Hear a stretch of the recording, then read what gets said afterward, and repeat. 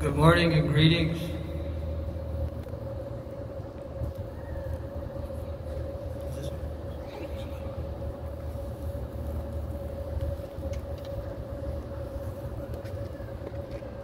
My name is Rodney Graham.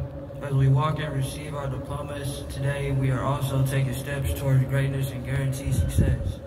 You should feel very proud and motivated. You've overcome a struggle and challenge most tend to run away from. The achievement we are receiving here today isn't just about the diploma and the life after we receive it. It's also about the reveal to yourself showing you're capable to complete anything you start. You're capable of greatness no matter the obstacles that stand in your way. You shall overcome and conquer all. When I was a child, there was a school called the African Center African Center Education Program.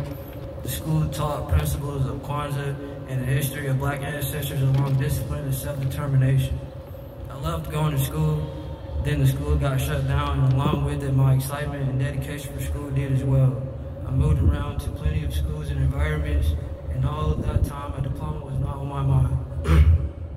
Excuse me. It wasn't until I came home to live with my mom, she was on my tail about that diploma. That's when we found a middle college program, and I began to push myself to get everything completed and accurate as possible. As I was completing each assignment and seeing nothing but progress, that passion for education once again became uh, once again came back to me. I thank my mom for always reminding me when I'm not at my best, teaching me to see beyond what's in front of me, along with self-awareness and self-love, and most of all, pushing me to become a proud black man.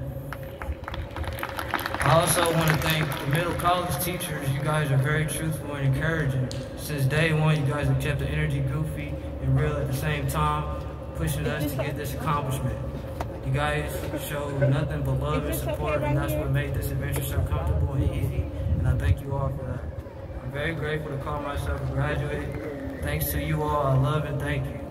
The things I want us graduates is the thing I want us graduates to remember most here today is no matter how big the challenge is or how small the positive end it may be, you control the outcome.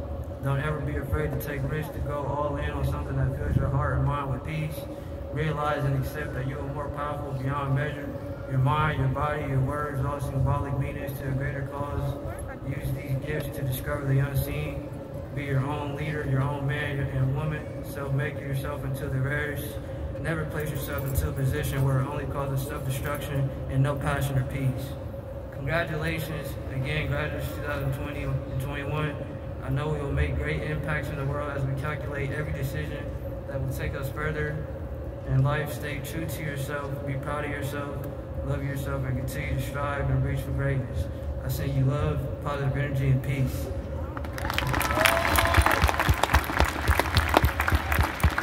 Please give a big round of applause for the student and the reflections.